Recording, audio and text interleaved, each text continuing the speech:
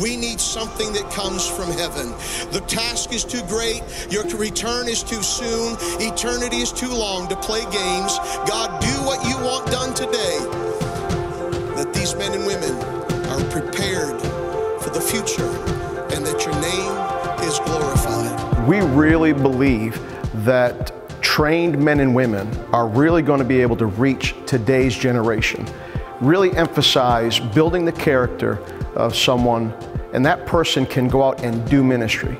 The greatest thing we can do for our students is to build their confidence, give them some experience, and then graduate them debt free so they can go absolutely anywhere God leads them to go without having to worry about the financial debt from being trained for ministry.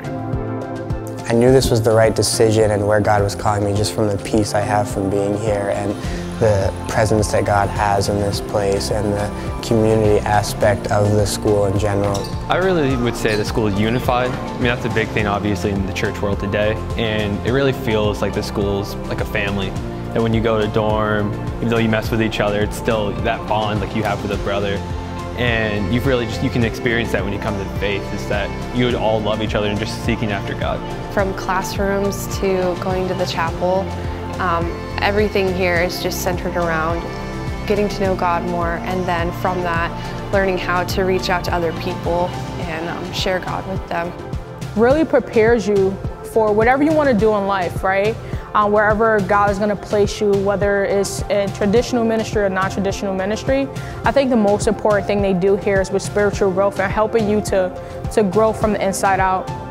You learn it in the classroom and then you get to do it hands-on and that really has solidified it for me so that um, I will feel confident going out into the ministry once I graduate here, that I know what I'm doing, but I'm also leaning upon the Holy Spirit to do what God's called me to do just having those opportunities to where you truly get to go out and be the hands and feet of Jesus. You have those opportunities to meet people where they're at and show them the love of Jesus. Like I've gotten to do a clothing and food drive. I've got to preach before. I've gotten to do all these different things to where I truly do get to be the hands and feet of Jesus here on earth. So many times you say after these four years I get to start my ministry or this and that, but you truly start your ministry the first day you walk in.